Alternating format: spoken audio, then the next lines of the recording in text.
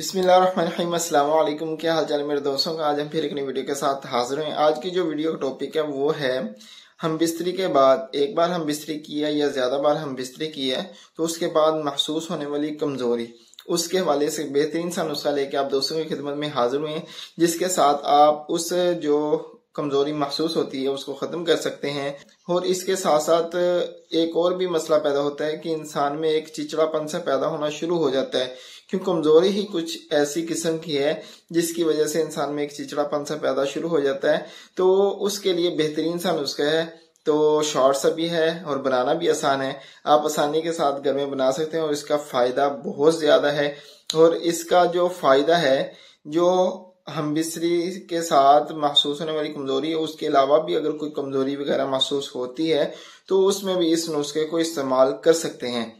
تو نسخے کی طرف آتے ہیں۔ نسخے کی طرف آنے سے پہلے ہماری ایک چھوٹی سی ریکویسٹ ہوتی ہے کہ اگر آپ نے ہمارے چینل سبسکرائب نہیں کیا تو چینل کو سبسکرائب کر لیں اور بیل آئکن کو جو بٹن ہے اس پہ کلک کر لیں۔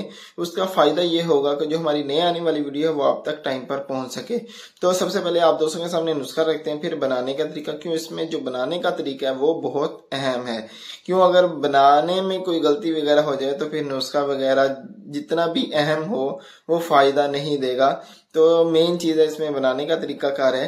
تو نسخہ تو آسانی کے ساتھ آپ کو کسی بھی اسٹور سے مل جائے گا، لیکن مین چیز آتی ہے بنانے کا طریقہ۔ وہ بھی آپ دوستوں کو آسانی کے ساتھ سمجھائیں گے۔ آپ اسی طریقے سے بنائیں تو انشاءاللہ بہت فائدہ ہوگا۔ تو اب آتے ہیں نسخے کی طرف۔ نسخے میں جو سب سے پہلی چیز ہے وہ ہے زعفران۔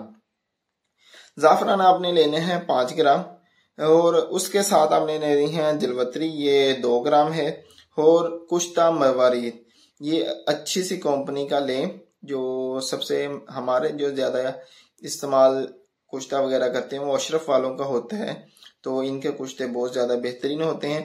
تو کوشش کریں کہ اشرف والوں کا جو کشتہ مرورید ہے وہ مل جائے تو زیادہ بہتر ہے۔ نہیں تو پھر کسی بھی کمپنی کا، اچھی کمپنی کا، اچھی کسی برانڈ کا آپ کشتہ لیں۔ تو پھر اس کے آتا ہے بنانے کا طریقہ۔ بنانے کا طریقہ بہت اہم ہے۔ آپ نے اس، آپ نے اس نسخے کو کسی بھی گرینڈر میں نہیں بنانا ہے۔ بنانے کا جو مین طریقہ وہ آپ کنڈی لے لیں۔ جو گھر میں آپ، جس میں مسالہ وغیرہ کوٹتے ہیں۔ جو پتھر کی ہوتی ہے، وہ لینی ہے۔ یہ آج کل کی ایک لکڑی والی بھی چلی ہے وہ استعمال نہیں کرنی ہے، کیوں ہم نے اس کا بریک صفوف بنانا ہے؟ اور بریک صفوف صرف جو ہوتی ہے پتھر والی کنڈی یا مام دستہ مام دستہ اکثر گھروں میں موجود نہیں ہوتا ہے۔ تو اس لیے میں کنڈی ڈنڈا بول رہا ہوں۔ کنڈی ڈنڈے میں بھی یہ بہت بریک ہو جاتا ہے۔ صرف اس نے اس میں آپ نے جو پیسنا ہے، بریک پاؤڈر بنانا ہے، وہ ہے جلوتری۔ جلوتری کا آپ نے بریک پاؤڈر بنانا ہے، ہو سکے تو کپڑا چھان کر لیں۔ کیوں؟ جتنا بریک صفوف ہوگا، اتنا ہی زیادہ اس کا فائدہ ہوگا۔ جلوتری کا صفوف بنانے کے بعد آپ نے اس کو نکال لینا ہے۔ پھر آپ نے ڈالنا ہے زعفران۔ زعفران کو پیسنا نہیں ہوتا ہے، صرف اس کو ہلکا سا رگڑا دینا ہوتا ہے کہ یہ جو لمبے لمبے سے تنکے ہوتے ہیں زعفران کے، یہ چھوٹی مقدار میں آ جائیں، بریک ہو جائیں، تو وہ آپ نے کرنا ہے۔ کرنے کے بعد آپ نے زعفران کو جو ہے جلوتری جو پیسی ہے، اس میں مکس کر دینا ہے۔ اور جو کشتہ مروارید ہے یہ صفوفی ہوتا ہے، بریک پاؤڈر سا ہوتا ہے۔ تو یہ آپ نے اس میں مکس کرنا ہے آخر میں۔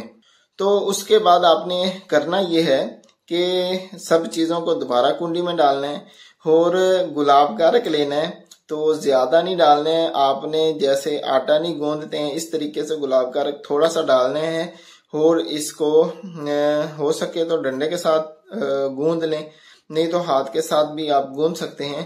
اور پھر گوندنے کے بعد آپ نے اس کی گولی بنانی ہے مونگ کی دال کے برابر۔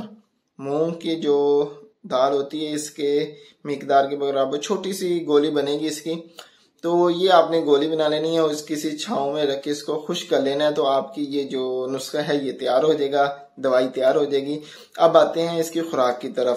خوراک اس کی صرف ایک گولی ہے، وہ بھی آپ نے دن میں ایک ٹائم لینی ہے اثر کے بعد۔ اثر کے بعد آپ نے ایک گولی لینی ہے، وہ نیم گرم دودھ کے ساتھ استعمال کرنا ہے۔ اور پرہیز تھوڑا سا ہے اس میں۔ اس میں یہ آتا ہے کہ آپ نے کھٹی چیزیں اور تلی ہوئی چیزیں۔ کھٹی چیزیں جیسی بھی ہوں۔